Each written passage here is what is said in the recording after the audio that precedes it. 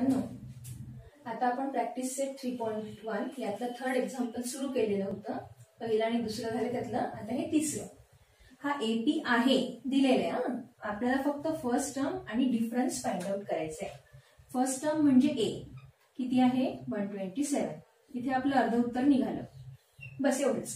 आता दुसरं काय? डी डी म्हणजे कॉमन डिफरन्स टी टू मधून टी वन मायनस करायचा. टी टू किती आहे? एकशे पस्तीस. टी वन किती आहे? एकशे सत्तावीस. वजाबाकी केली तर किती येईल? आठ. So the common difference is eight बस झालं. ए म्हणजे फर्स्ट टर्म आणि डी म्हणजे कॉमन डिफरन्स सेम इकडे करायचंय. हा एपी आहे. इथे ए किती आहे? One by four first term आपण लिहून टाकली. आता डिफरन्स कसा फाइंड आउट करायचा? टी टू मधून टी वन मायनस करायचे. टी टू किती आहे? थ्री बाय फोर आणि टी वन किती आहे? वन बाय फोर हे दोघांचा छेद सेम आहे ना तो एकदाच लिहायचा. आणि तिनातून एक गेले दोन राहिले. इथे भाग तुटतो.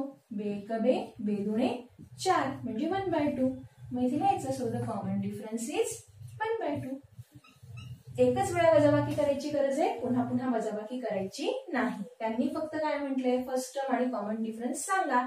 For each of the AP म्हणजे हा एपी आहे हे दिलेलं आहे. दिलं असेल तर वजाबाकी फक्त एकदाच करायची आणि येते आहे का? असं विचारलं असेल तर तीन वेळा वजाबाकी करून बघायची.